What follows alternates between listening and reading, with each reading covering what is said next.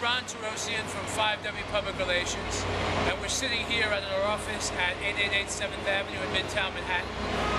And sitting here in my jeans and t-shirt, it's important as the weekend's approaching to talk about the need for work-life balance. One of the things, one of the things that I've learned eight years into my business is the need to have mental clarity. And how do I do that? I love to run. Love to play basketball. If I don't get a good sweat, it makes the whole week much more difficult.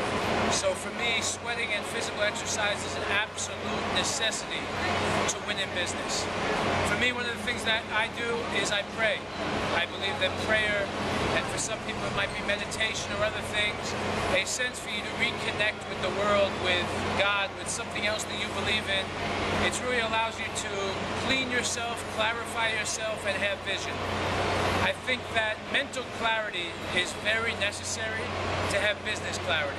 Mental clarity is a necessity to win in business. So for me, it's about exercise, it's about thinking, it's about family time, and those are some of the challenges and rewards of owning your own business. Ronn Torossian, 5